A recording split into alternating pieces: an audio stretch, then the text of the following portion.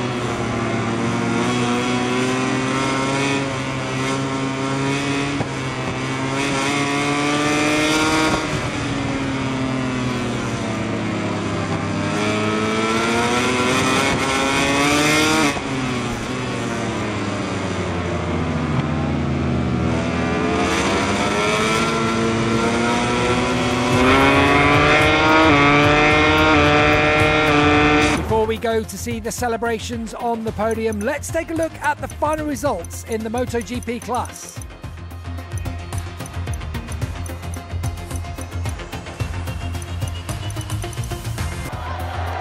This rider has been able to impose a frantic pace on today's race, and now he and his mechanics are rightly going to party.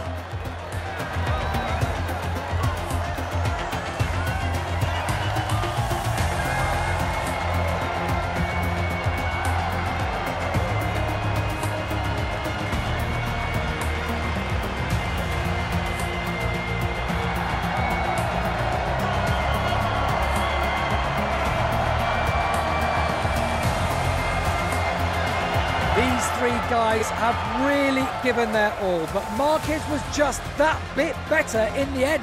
Well done, Marc.